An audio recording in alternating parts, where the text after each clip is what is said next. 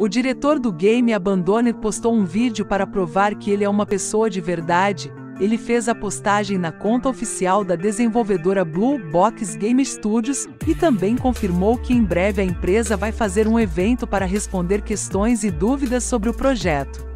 Ele fez esses esclarecimentos após muitas pessoas falarem que ele não seria uma pessoa real e nem diretor, que na verdade era só alguém associado a Hideo Kojima, fingindo ser um diretor qualquer para esconder seu envolvimento em um possível novo jogo da franquia Silent Hill.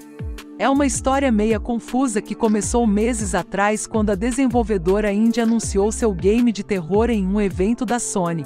Como ninguém tinha muitas informações sobre a empresa, alguns fãs de Silent Hill começaram a especular que na verdade esse seria um novo jogo da série e que só estariam tentando esconder isso do público por um tempo até finalmente anunciarem o título verdadeiro.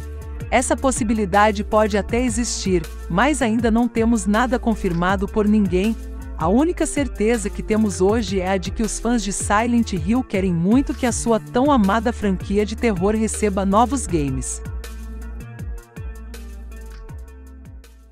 Of a strong, blood-loving community led by a religious nut job. A false prophet that will do anything for power, anything for wealth.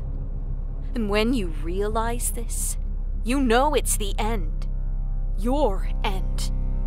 But you will never accept this. You will fight for a way out.